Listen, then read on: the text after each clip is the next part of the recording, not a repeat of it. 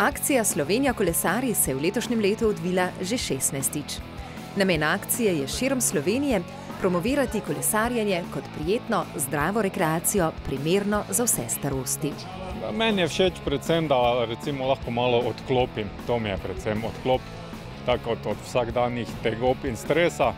Predvsem dobra družba, lepi kraji po Sloveniji, ki jih lahko opazimo, pa tudi nekaj za sebe človek naredi koristnega. Mi smo glavne in mi smo prijatelji in mi smo zato tu, da se družimo. To, kaj pa malo pritiskamo na pedale, pa smo dobrega zdravja in bomo čez 15 let se kome začeli starati.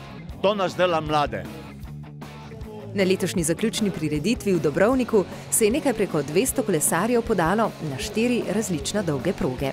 Od družinske 11-kilometrske do velikega maratona 70-kilometrsko razdaljo.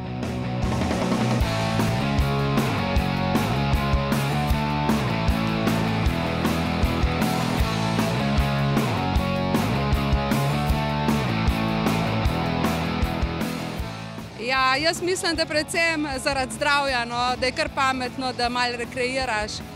Tako, no, tudi bolj se počutiš, bolj si zadovoljen in srečen na koncu.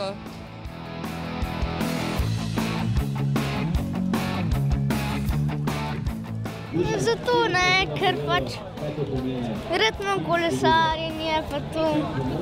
Začeli smo letos malo bolj resno, da gre večkrat z menoj. Pa upam, da bo šlo tudi pol po teh stopinjah naprej. Tisti, ki mislijo, da je v prekomorju sem ravnina, moram reči, da so organizatorji res najdli tiste lepe hribčke in uspone, tako da je bilo kar razgibano in na trenutke je bilo treba kar fajn pritisniti. V občini Dobrovnik zaključek letošnje akcije ni edina tukajšnja kolesarska prireditev. Želimo biti kolesarski kraj, sigurno do tega še kar nekaj časa, nekaj trdega dela. V obdobju, če lahko tako rečem, samostojne občine Dobrovnik smo seveda tudi del razvoja dali pomen turizmu, razvoju turizma, predvsem tudi rekreativnemu turizmu. Kolesarjenje pa je zgodba, ki je v zadnjih desetih letih seveda tisto, kar dokazuje, da smo se prav odločili. Ves je, da se ljudje družijo, da gre na cesto, da so v naravi in da se dobro počutijo in skrbijo za svoje zdravje. To je bil, to je bil namen akcije pred 16 leti in to je še danes.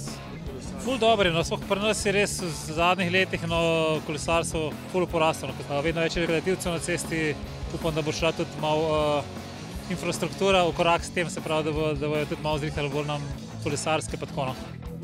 S prireditvijo v Dobrovniku se je letošnja akcija Slovenija kolesari zaključila. Tekom kolesarske sezone se je zvrstilo kar 68 prireditev, na katerih je skupno kolesarilo okoli 18 tisoč udeležencev. Lepa popotnica tudi za prihodnje leto. Nikaj.